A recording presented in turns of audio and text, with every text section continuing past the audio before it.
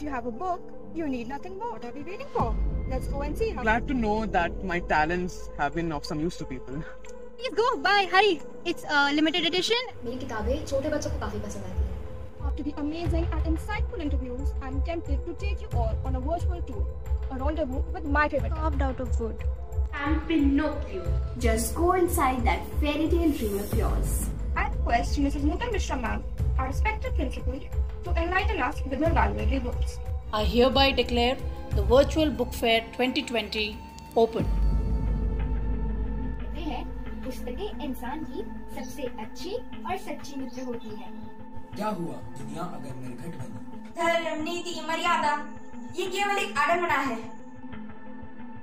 Today I am going to say summary of the story.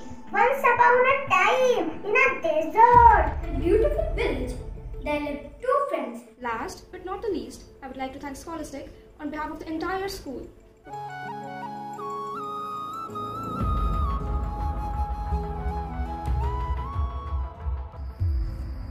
As the sun sets and the dust settles, it's time to bid goodbyes.